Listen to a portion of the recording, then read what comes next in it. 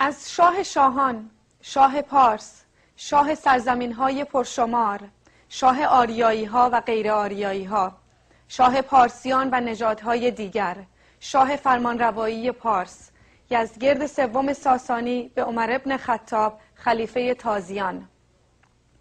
به نام اهورامزدا آفریننده زندگی و خرد. تو در نامت نوشته ای می‌خواهی ما را به راه راست هدایت کنی. به راه خدای راستینت. الله اکبر. بدون اینکه هیچ گونه آگاهی داشته باشی که ما که هستیم و چرا میپرستیم.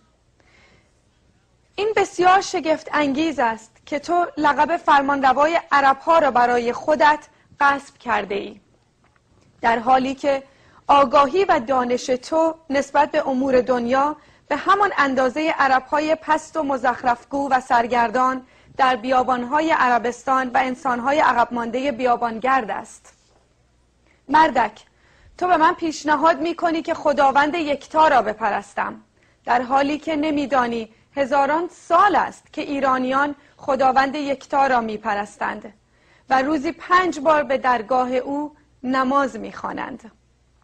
هزاران سال است که در ایران سرزمین فرهنگ و هنر این رویه زندگی روزمره ماست زمانی که ما داشتیم مهربانی و کردار نیک را در جهان می پروراندیم و پرچم پندار نیک گفتار نیک کردار نیک را در دستهایمان به احتزاز در می آوردیم تو و پدران تو داشتند سوسمار می خوردند و دخترانتان را زنده به گور می کردید شما تازیان که دم از الله می‌زنید برای آفریده های خدا هیچ ارزشی قائل نیستید. شما فرزندان خدا را گردن می‌زنید. اسرای جنگی را می‌کشید. به زنها تجاوز می‌کنید. دختران خود را زنده به گور می‌کنید. به کاروانها شبیخون می‌زنید. دسته دسته مردم را می‌کشید. زنان مردم را میدزدید و اموال آنان را سرقت می کنید قلب شما از سنگ ساخته شده است. ما تمام این اعمال شیطانی را که شما انجام می دهید محکوم می کنیم حال با این همه اعمال قبیح که انجام می دهید چگونه می خواهید به ما درس خداشناسی بدهید؟ تو به من می‌گویی از پرستش آتش دست بردارم. ما ایرانیان عشق به خالق و قدرت خلقت او را در نور خورشید و گرمی آتش می‌بینیم. نور و گرمای خورشید و آتش ما را قادر می‌سازد که نور حقیقت را ببینیم و قلبهایمان برای نزدیکی به خالق و به هم نوع گرم شود.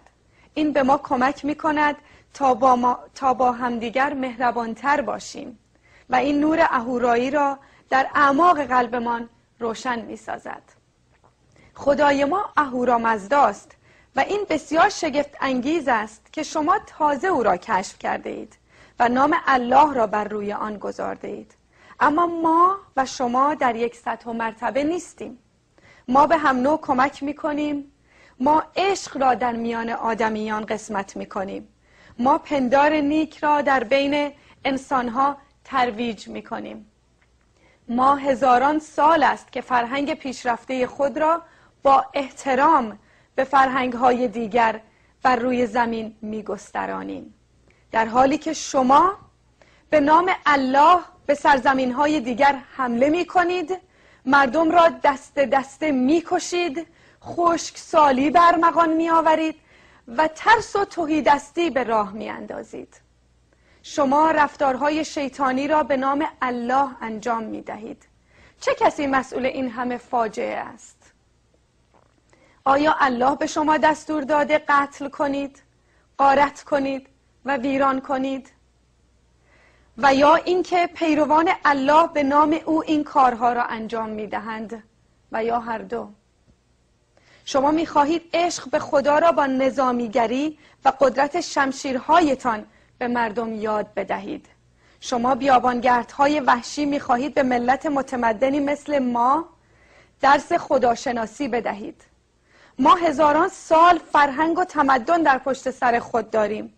تو به جز نظامیگری وحشیگری قتل و جنایت چه چیزی را به ارتش عرب ها یاد داده ای؟ چه دانش و علمی را به مسلمانان یاد داده ای که حالا اصرار داری به غیر مسلمانان نیز یاد بدهی چه دانش و فرهنگی را از اللهت آموخته ای که اکنون می‌خواهی به زور به دیگران هم بیاموزی افسوس و ای افسوس که ارتش پارسیان ما از ارتش شما شکست خوردند. و حالا مردم ما به زور شمشیر مجبورند همان خدای خودشان را این بار با نام الله پرستش کنند و همان پنج بار نماز را بخوانند ولی به زبان عربی. چون گویا الله شما فقط عربی می‌فهمد. من پیشنهاد می کنم که تو و همدستانت به همان بیابانهایی که سابقا عادت داشتید در آن زندگی کنید برگردید. آنها را برگردان به همان جایی که تعلق دارید. چون برای شما جایی در شهرهای متمدن ما و در میان ملت پاکیزه ما وجود ندارد. این گروه سنگدل را آزاد مگذار تا مردم ما را بکشند. زنان و فرزندان ما را بایند به زنهای ما تجاوز کنند و دخترانمان را به کنیزی به مکه بفرستند. نگذار این جنایات را به نام الله انجام دهند. به این کارهای جنایتکارانه پایان بده. آریایی ها بخشنده خونگرم و مهمان نوازند انسانهایی پاک که به هر کجا که بروند تخم دوستی عشق آگاهی و حقیقت را خواهند کاشت. بنابراین آنها تو و مردم تو را به خاطر این کارهای جنایتکارانت مجازات نخواهند کرد. من از تو می‌خواهم که با الله اکبرت در همان بیابانهای عربستان بمانی و به خاطر داشتن عقاید ترسناک و خوی وحشیگری از نزدیک شدن به شهرهای آباد و متمدن ما خودداری کنی. امضا یزگرد سوم ساسانی. Bye.